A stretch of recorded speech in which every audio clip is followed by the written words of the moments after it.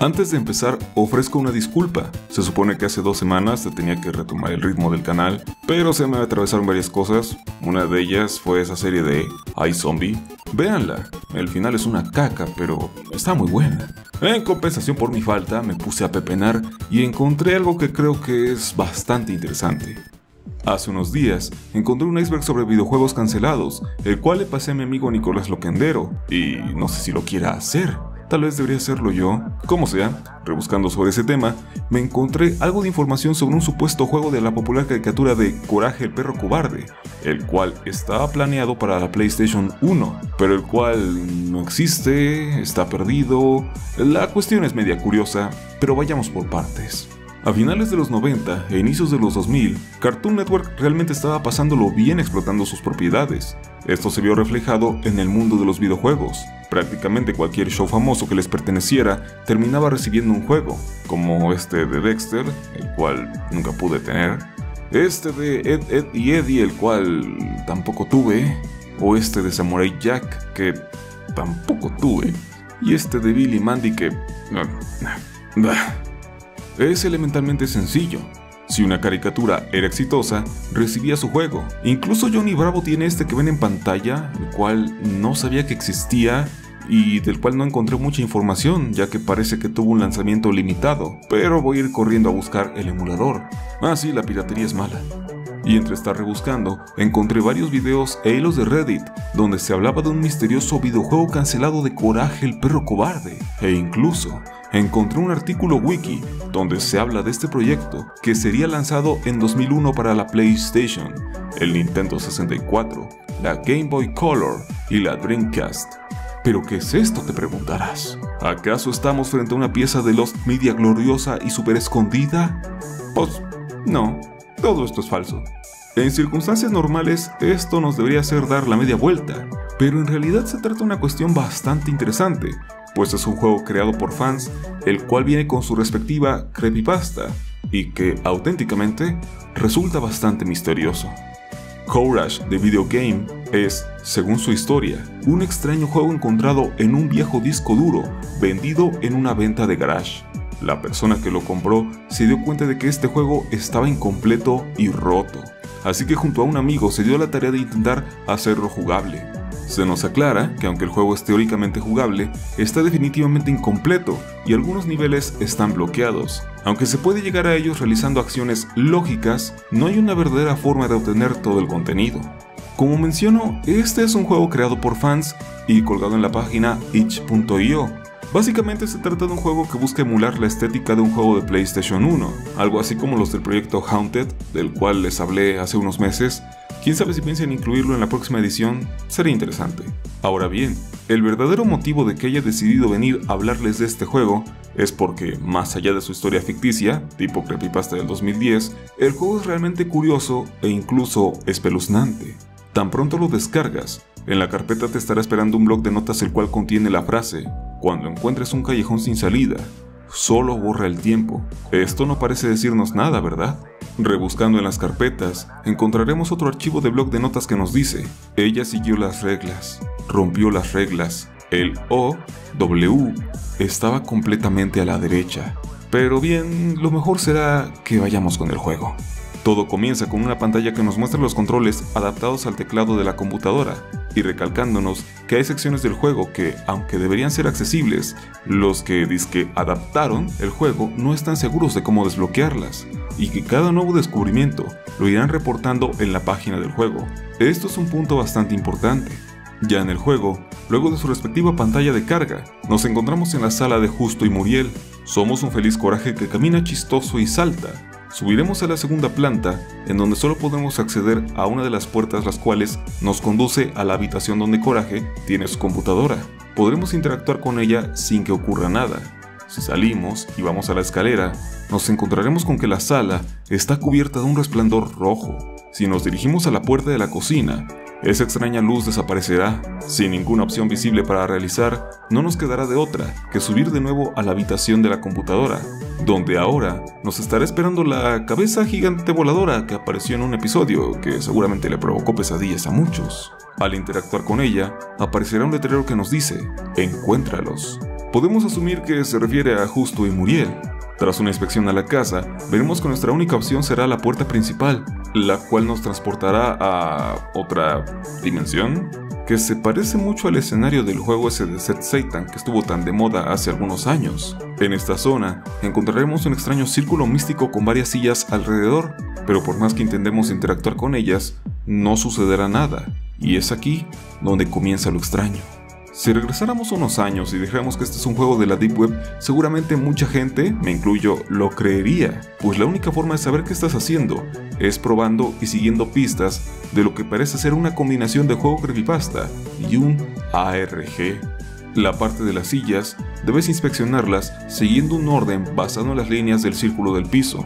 Esto teóricamente debería desbloquearte la siguiente parte, pero hay un problema, no hay nada visible. Es entonces que deberás ir inspeccionando las paredes del lugar en el que estás en búsqueda de una pared falsa, la cual podrás encontrar por el leve sonido de unos pájaros cantando. Aquí pueden ocurrir dos cosas. Si no tomas adecuadamente el lugar, caerás a un vacío y el juego crasheará. Al iniciarlo de nuevo, estarás en la casa de coraje, la cual se encuentra totalmente vacía. Al subir a la segunda planta, solo escucharás un ruido de estática, que se trata de una clave Morse. Si regresas a la sala, verás que el reloj se ha movido para ubicarse en el medio de la habitación y empezará a sonar. Después de 12 campanadas, el juego crasheará y con ello no tendrás más que hacer. Una opción descubierta es que una vez que aparece el reloj, puedes dar un salto desde las escaleras. Esto evitará que empiecen las campanadas y te permitirá llegar a la puerta de la cocina pero al interactuar con ella, aparecerá una pantalla en negro con el texto, datos perdidos. Y una vez más, no puedes hacer otra cosa. Regresando un poco, vamos con la segunda opción. Si al descubrir la pared falsa, no caes al abismo y sigues un poco el camino, aparecerá un símbolo de interrogación con el que podrás interactuar. Cuando lo hagas y regreses a explorar la zona anterior, encontrarás algo así como un altar, memorial, yo qué sé, con la foto de quien aparentemente es Muriel, una corona de flores y una silla. Esto pinta bastante mal, y si interactúas con la foto de Muriel, el juego crasheará. Al abrir el juego de nuevo, ahora te encontrarás en un lugar vacío, donde solo hay dos luces, la del sitio donde estás tú y otra donde hay una figura extraña, que yo le veo forma de mecedora, probablemente la de Muriel. Si sigues directo el camino, terminarás cayendo en otro abismo, y como es de esperar, esto crasheará el juego. Si inicias una vez más, aparecerás de nuevo aquí, y en este punto, parecería que estamos en un callejón sin salida y muy frustrante. Entre la comunidad de personas que han estado probando el juego desde que salió, más o menos una semana desde la creación de este video, encontraron que hay, de hecho, un camino escondido para llegar al otro lugar, pero para esto se debe usar un programa que haga un escaneo del mapa y te dé la manera de llegar. Una vez del otro lado, te encontrarás con una silla, no era una mecedora, con la cual al interactuar terminará crasheando el juego.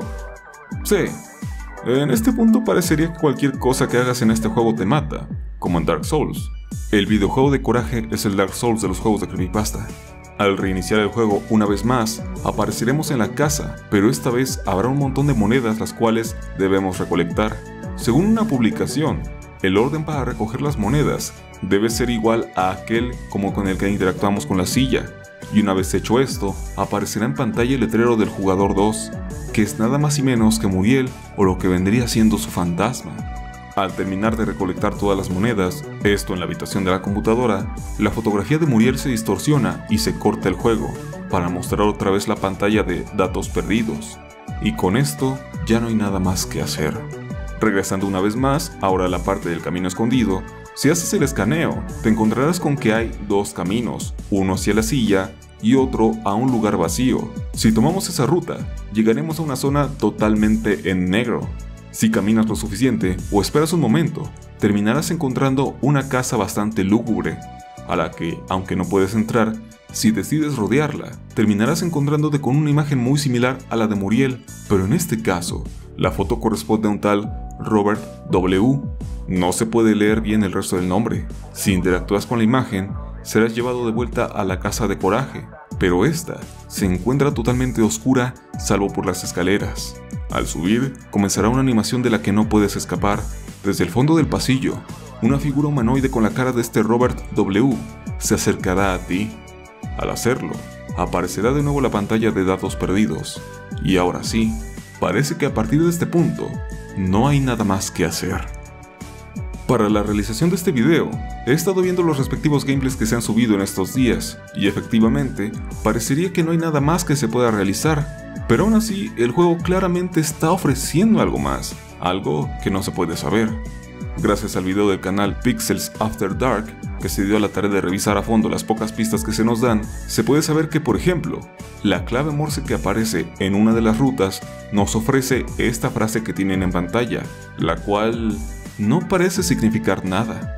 A su vez, escondido en las pantallas de datos perdidos, si se sube el brillo, se puede ver que hay frases ocultas como Fue ella, Eleanor, papá no estaba en casa, el señor Wheeler estaba allí para saludarme, esta última frase nos indicaría que el hombre que aparece en la última ruta se llama Robert Wheeler, pero esto tampoco nos dice nada, ya que si buscamos este nombre en Google no nos ofrece ningún resultado que sirva o que siquiera se relacione con lo que nos propone este juego. El video de Pixels After Dark, que es el más completo hasta la fecha y que les dejaré en la descripción, tiene un poco más de información, pero detalles más, detalles menos, lo que te he contado hasta este punto es todo lo que se sabe, al menos en el momento en que estoy escribiendo el guion de este video. Se han revisado los archivos del juego, y además de esas extrañas frases en los blogs de notas, solo aparecen más cosas indescifrables y carentes de sentido. Se trata de un juego realizado por fans, obviamente, así que no va a haber pistas de un horrible crimen o un super secreto, pero definitivamente, este juego tiene muchas cosas escondidas.